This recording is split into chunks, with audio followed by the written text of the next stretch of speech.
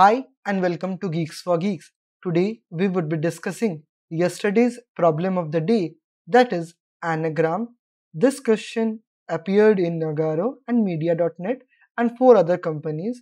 Then this question is related to strings and sorting. Okay. Now let us move to the problem statement and understand this problem. We are given two strings A and B consisting of only lowercase character, only lowercase character. The task is to check whether two given strings are an anagram of each other or not. Now what is an anagram? Okay, now suppose we have two words act and tack. Okay, then we can see this T matches with this T this A matches with this A and this C matches with this C. Okay, what does this mean? This means that an anagram of a string is another string that contains the same characters, only the order of characters can be different. Only the order can be different. So this is written that the order can be different. Why not make the order same? This is written in the question itself. So what we can do is if we are given act and tack then can we make the order same for both? What is the ordering? If we talk about ordering in the case of programming, the first thing that comes in our mind is sorting. Okay. So after sorting, this would become A, C and T and this would also become A, C and T.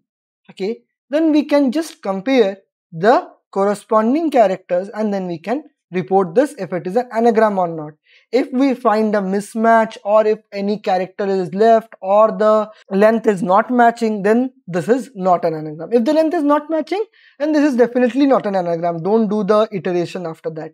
So what? Now talking about this sorting.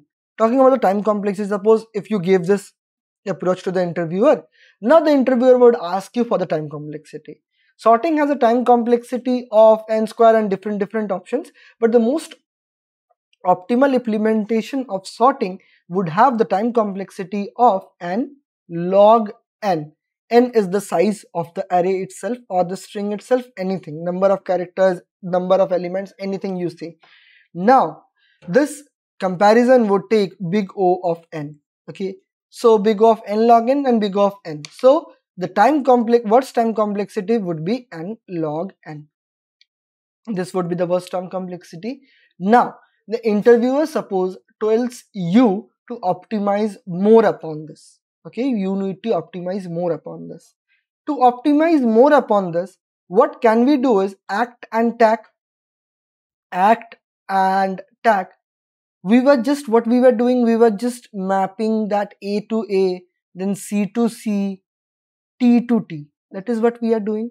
We can do the same thing as we are doing manually we can store the frequency of each characters okay? We can store the frequency of a we can store the frequency of c and we can store the frequency of t.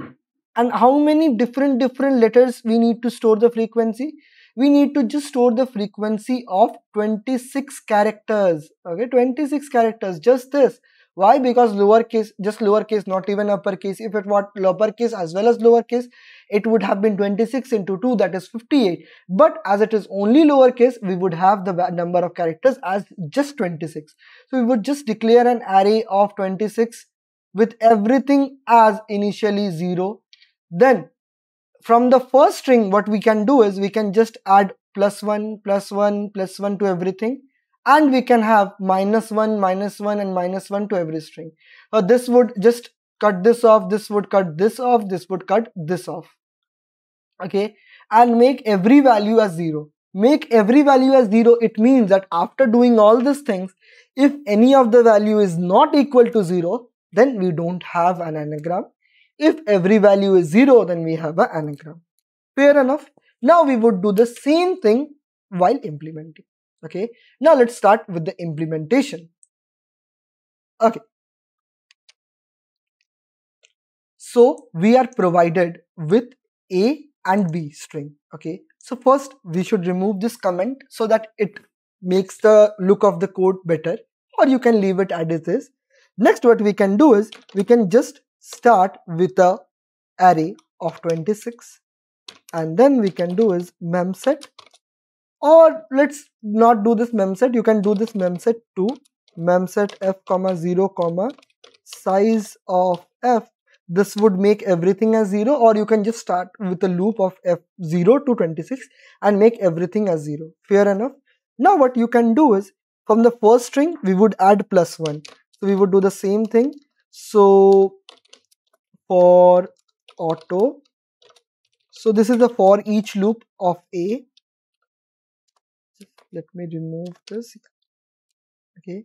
Then f dash e plus plus okay? Then we would just copy the same thing and we would paste this and this would be the second string.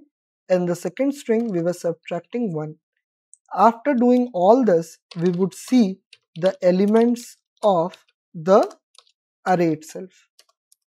If e is anything other than 0 then we return false here. If we didn't find any value and this is complete then every value is 0 then we need to return true to it. Let me check if there are any compilation errors or not. It might be the case that i'm typing out something wrong or a variable or something. Yeah. So this is giving us a correct output for the sample test case. Now you should never submit your solution before the compilation and all you should always debug your solution. The submit op submit button should be the last option okay? If you are well convinced with your solution. So f of 26 this seems fine this seems fine because this is making every value as zero. So garbage value won't be stored. Then we are using a for each loop where we are incrementing the cut character itself then decrementing the character and if e is not equal to zero then we are returning false. But we can see that the number of the uh, this f is 26 so we need to subtract the value of a to it. What does this mean? This means that every e, every character has a ASCII value associated with it. So the ASCII value associated, suppose for a, suppose for a, it is anything, suppose 5. So b would be 6, c would be 7. So even if you don't remember the ASCII code, it's none of the problem because a the value of a minus a would make it 0 value of b minus the value of a would make it 1 value of c minus the value of a would make it 2 that is why we need to subtract the value of a to make it 0 indexed and it would take just this. And if you don't want to subtract suppose you don't remember all this then just take a value of character of 256 and this would pass okay? Because the value can at most be 256 okay but this would make the size of the array and this would also increase the time complexity. Okay now let us submit this and see if we get an AC or not.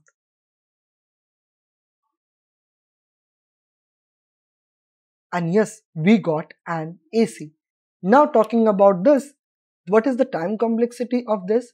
We have initialized a frequency array of 26 then we are doing memset memset is big O of 26 then this would be A. So what is the value of A? Big O of n.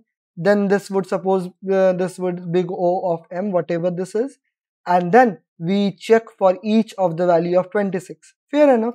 Now let's do the calculation. Suppose you did this then you would see the calculation. Before submitting only you would know if this would pass only or not. You don't need to see this expected time complexity and all so what can be the maximum value of a and b? The maximum value of n and m can be 10 to the power 5 and 10 to the power 5.